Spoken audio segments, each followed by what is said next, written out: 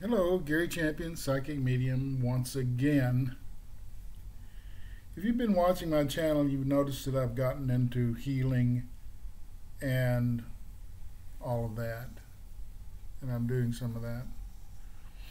And what I've discovered is interesting.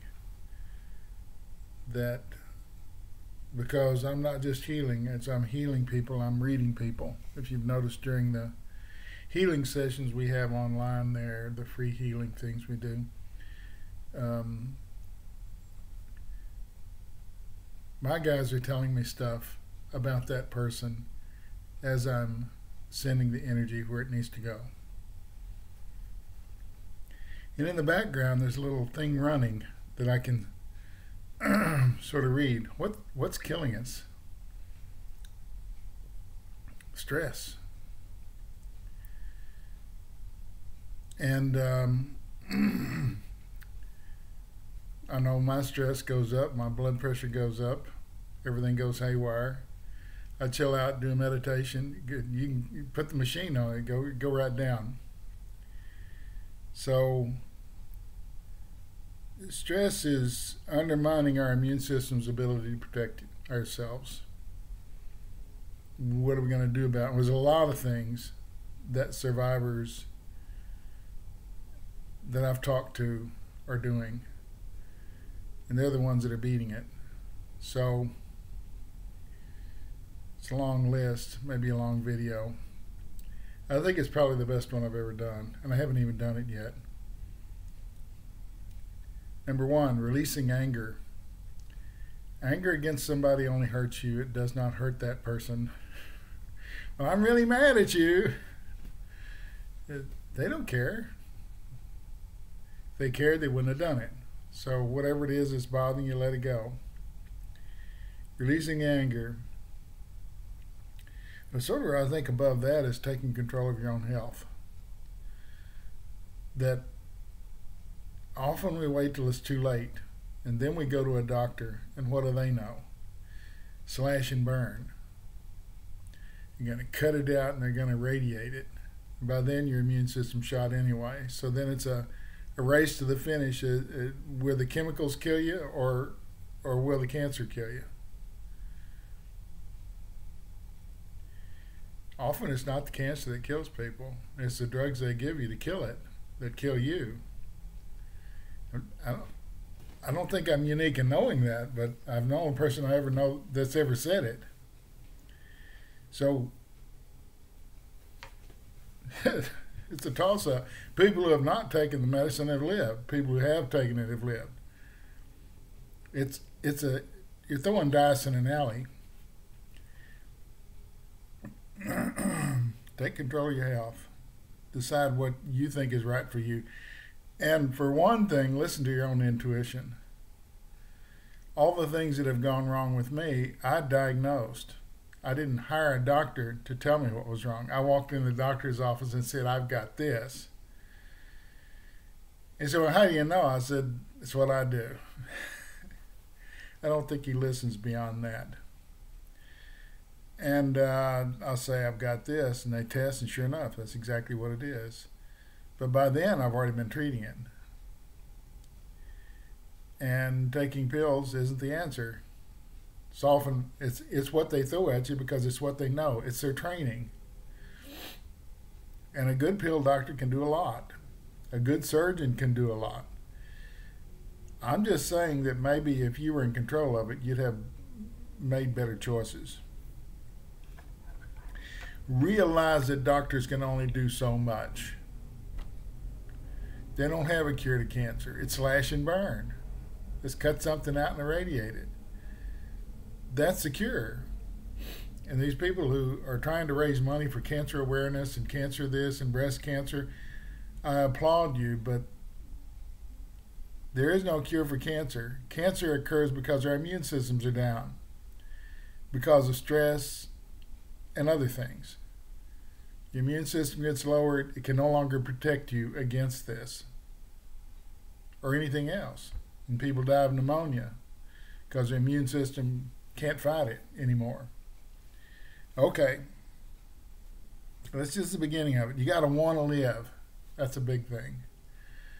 Notice some of the survivors, and we've had some we've been healing, and uh, they've come out of it. And um, it's and some of them have taken the self healing class, and and and they they're continuing to heal themselves, which it keeps their immune system up all the time. And one thing I've noticed is they have a positive sort of thought pattern. They tend to think that they're going to be all right. And there is that old study where 60% of people will survive if they believe they will. That's all it is. It's a positive belief structure, positive thought. Use your intuition. Doctors can only do so much. Take, take control of your own health. Usually, you know, you. It's, it's like anything in life. If you want it done right, do it yourself. My wife made the comment the other day that, that you can now order groceries online and they deliver them. And we've been in the store and watched them package those up they go around with a cart and they've got an order and they put they chuck stuff in there and then it gets shipped to the home. They just pick up the first one. They're not like you. They're not saying this chicken looks old or this lettuce is not right. They pick the first one on the top, chuck it in there, and because they're not going to eat it, you are. So trust your intuition, trust yourself and I I bought groceries by just looking at them or feeling them, or uh, there's a certain energy that comes off of good fruit, things like that. I know it sounds nutty, but it's the truth. Um, have a good diet. These are a lot of things. I'm sorry. These are the things I came up with. Do you want to live? Do you want to not get sick and then have to worry about this? See, this is can be preventative, and then once you're you've got something, it can also help. But it's better if it comes right here instead of after you've got whatever it is. How do you increase positive thoughts? I tell my wife every day that we're lucky people. I'm lucky to be here doing this, and I'm lucky to be alive. And uh, that's truly how I feel. So that, to me, that's positive thought. Maybe I've survived because of it. And my intuition about my health and not relying on doctors, understanding that they're doing the best they can. There's just only so much they can do. Take up yoga, something meditative. Yoga is very meditative. It's relaxing. It's good good for you and it's probably no better.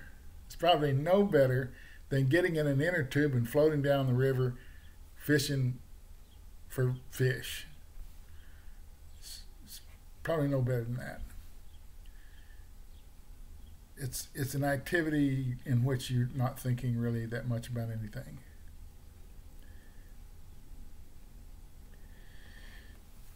Outside hobbies, interest I have a little shop down in the garage. I've told you all about it. I, I've made all these things, stained glass and rings and signs and all kinds of things as a hobby.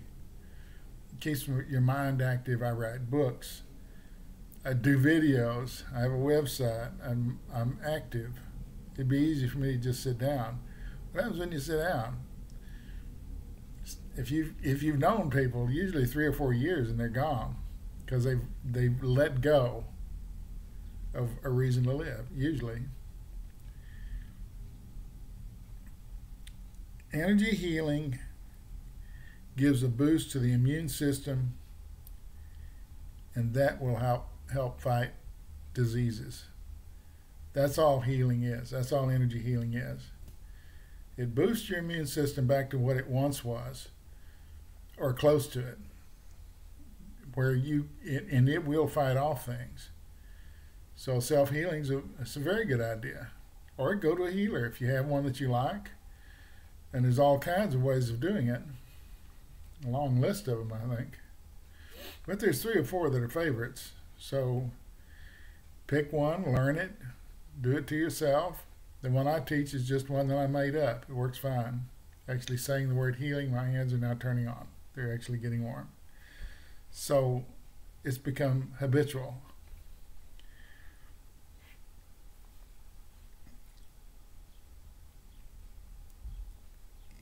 It's about self discovery. I know these things about myself. I know as soon as I give up and have no reason to live and don't have outside activities, don't have a positive attitude, things are going to get pretty nasty. So I'm usually up every morning early. I'm at the computer, I'm writing, I'm doing videos. I'm my brain is active. I have a book I'm writing on. Here's a clue. It doesn't even matter if the book ever sees the light of day. I probably have nine or ten books lying around that I started and never finished just because I don't know why. In the middle, I realized it wasn't a good book, that it was something I should be writing about. So, um, and I actually I have a, an energy healing book that's got like 100 pages on it or something that I'm not writing on, that I should be writing on. But I'm still in the discovery moment. It's up to you to save you. It's up to you to save you. Now, those of you who have genetic things, it's harder. You have a genetic uh, predisposition to something, it's harder, but it can be done. More than likely, it's a predisposition to a poor immune system that you've inherited, and it just can't keep you going. Oh, he died at this and he died at that. Um, and people get fatalistic. Daddy died at 49. I'm going to die at 51 because some doctor told me so. Well, yeah, pills and slash and burning is not the answer. They do save lives, but at what expense? Before you go that way, try something like this. Try self healing. Try an energy class. Think positive. Take control of your health. Release the anger. Realize that doctors are limited. We're in the dark ages there. They're not back to not washing their hands and germs killing people, but we're not much further beyond that. Slash and burn's been the status for cancers as long as I can remember. You have choices. And how you spend your time largely depends on the choices you make intuitively. Because, uh, you know, I have a doctor. He, here, take this. Here, take that. When the solution is letting go of anger, relaxing, de stressing, take yoga. My wife and I dance the Texas two step. Very relaxing and entertaining because we're not very good. We laugh a lot. Laughter is a big curative. If you can't laugh a lot, you're in trouble. That's a sure sign. So laugh a lot. Have fun.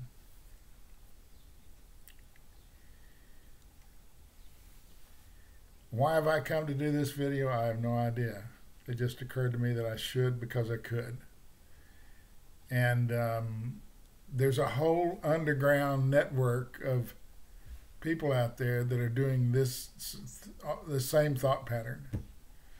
I'm not the only guy to come up with these, but I came I came to mine honestly through intuitive uh, thought and talking to other people and reading them as I'm doing something.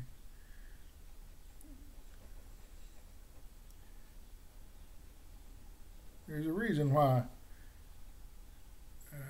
Johnny and June went like a couple of days apart. June went, she passed. Johnny passed right after that. Or maybe it's the other way around. I'm not sure but they couldn't live without each other. That's the thing that sustained them to old age was their love. Love, laughter, those are big curatives. Give me that. I actually have that, so I'm ahead of the game. Find some peace within yourself. But, you know, men are the worst at it. We're intuitive, just as intuitive as anybody. We just don't use it. Women use it daily I'm not going over there tonight. I don't feel something's not right there. And then sure enough, there's a big argument and you were glad you weren't there. Men say, ah, it'll be all right. Men know they've got something and they don't report it until it's too late, hoping that it'll just go away. Unless you change what you're doing, you know, change your diet, uh, exercise. I do diet, exercise. I have a loving wife. I have positive thought. These are the things I've listed because they've helped me. Whenever, and I told you the story about the pills, and I'm not taking those pills anymore. And I said, Well, your blood pressure's good. Why? I'm just in that, I'm doing some self healing. It's gone down. It's acceptable. It's in a good range. Now, not for them. I have a doctor that describes me as morbidly obese. I'll say I think I weigh uh, like five or six pounds more than I did when I got out of college. So I've always been morbidly obese, according to him. Of course, he's like four foot eight and weighs a hundred pounds. So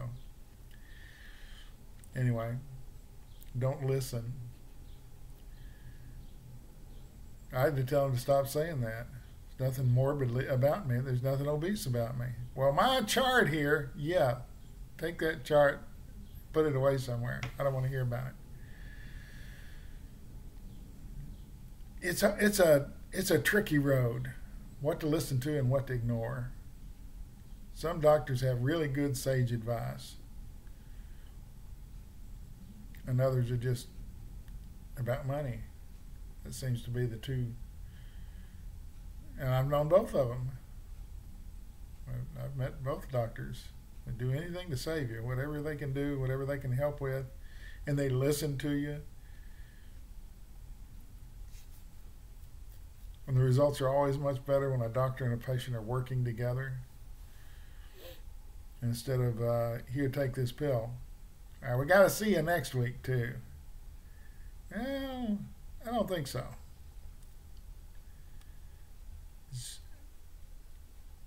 This is what we should be doing. We should be helping each other. And that's all I'm doing. I've compiled a list of things I think that kind of work, and I'm passing them on to you. What you do with them is up to you. Release the anger. Take control of your health. Doctors can only do so much. Want to live more positive thoughts, laughter, love if you can get it. Uh, love lowers, I mean, makes everything better. Use your intuition. You've got it. Everybody's got it. I just have an advanced case of it. It's like a like a virus or something. Because I was sitting next to someone when they died. As soon as they died, I I was medium. So but you all have it. I know. I've seen people use said, uh, I don't know about that. And then they're, they're right every time. Trust your intuition. Trust your gut. Someone said that the other day, something about their gut feeling was this and their gut feeling was that. Well, trust your gut.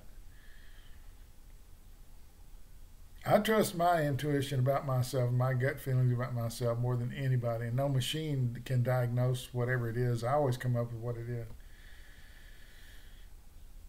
I've been right every time. Darn it.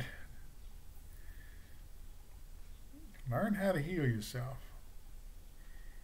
That kind of healing energy boosts the immune system and allows the body to protect itself and heal itself. Most parts of the body can heal itself. We didn't used to think so, but most doctors believe that now. I'm working on myself all the time, morning and evening. I spend a little bit of time self healing, meditating, thinking about, listening for voices, and this is what I came up with. Good or bad, there it is. I think it's probably one of the most important videos I've ever done.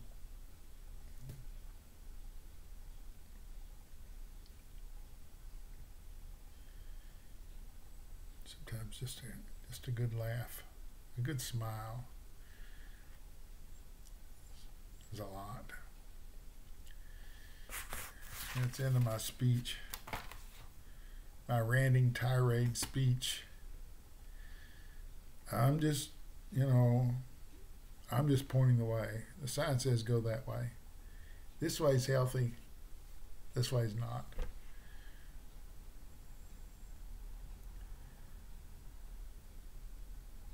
I heard a guy once eating breakfast behind me, and someone was telling him he should be having biscuits and gravy, and it was that kind of gravy with the meat in it, like they cooked some sausage and put, ooh, that's the best kind.